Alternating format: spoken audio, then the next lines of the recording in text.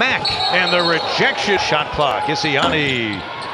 Another miss for the Titans, battling inside. Brandon and a strong move back to the hoop for the sophomore out of Houston. Kid named Calipari, Brad Calipari. Feed inside Miller. Nice finish by Chris Brandon to tie this thing up or take their first lead.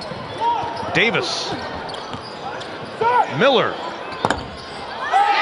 gets the friendly bounce. He has played in this building before. And that, all year long. He is a long six-seven, as you saw the miss by Scott. Davis looking for his first, and Dawes defending Davis. The combination we thought we would see in the man-to-man from the corner.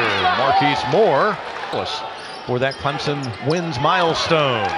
Rebound by the native of Georgia in Europe, Willie Isiani. Davis. going to be one that you see called less and less as the season goes on because it really is tough to judge intent.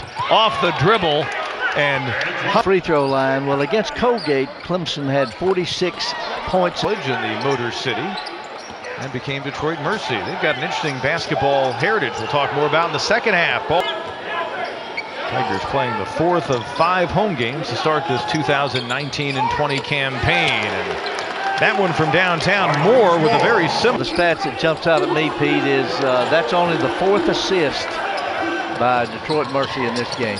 Great job. LeGrand knocked it away, and Antoine Davis. Tigers answer the 6-0 Detroit Mercy run with four straight points of their own. Strong move to the hole, the scoop and the score. Alonde LeGrand, coaching career, 363 wins.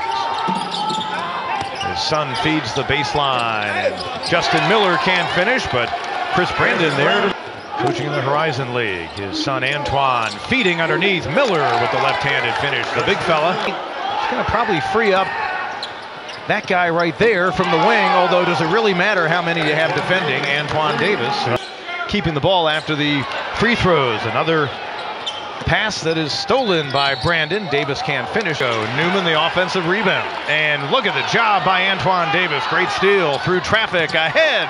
And Brandon with the finish. The assists are going up. That's his best so far this season. Strong move inside Miller. That's just what they want out of the Kentucky native. Miller got the best of Simms that time. They've isolated him once again. Simms won the first battle. Miller won that battle. You may see it again.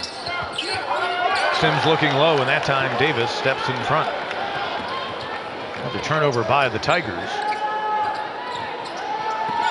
Davis weaves, kicks from the corner, and it'll go.